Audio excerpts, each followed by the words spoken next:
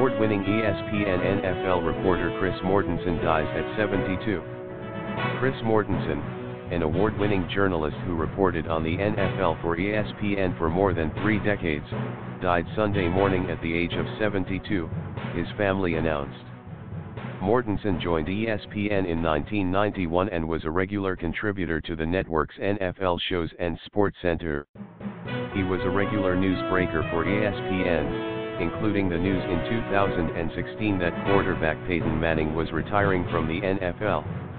In 2016, he received the Pro Football Writers of America's Dick McCann Award and was honored during the Pro Football Hall of Fame's enshrinement ceremony in August that year.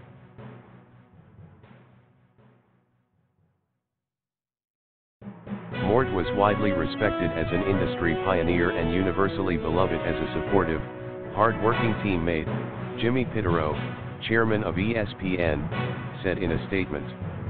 He covered the NFL with extraordinary skill and passion, and was at the top of his field for decades.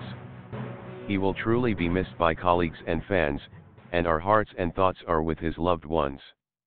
ESPN's Adam Schefter, a longtime colleague of Mortensen's on ESPN's Sunday NFL Countdown, said on social media, an absolutely devastating day.